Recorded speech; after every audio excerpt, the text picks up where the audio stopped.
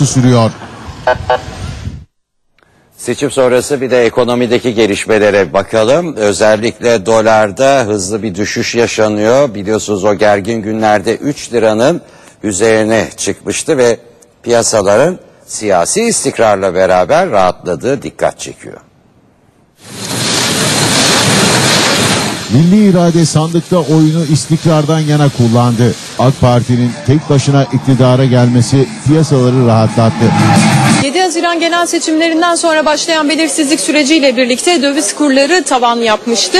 1 Kasım'da milli irade tekrar istikrar dedi ve döviz kurları düşüşe geçti. Dolar 2.75 seviyelerini görürken Euro da 3.06'dan işlem gördü. Şu anda ilk etki pozitif. Hem dolar TL tarafında, Euro TL tarafında ve diğer taraftan da borsa tarafında da %5'in üzerinde bir fiyatlama gördük. Seçim sandıklarından çıkan sonuçlara piyasaların ilk tepkisi pozitif oldu. Peki bundan sonra ne olacak? Şu an e, için bakıldığında fiyatlardaki bu oynaklık e, bir müddet daha devam edecek. Fiyatların belli bir noktada oturmasını bekleyeceğiz ki bundan sonraki süreç için daha net bir yorum yapalım. Ama 2.75 destek seviyesinin aşağı yönlü kırılması demek 2.70 seviyelerine kadar dolar TL'nin hali hazırda gerileme potansiyeli taşıdığında buradan vurgulamak gerekiyor.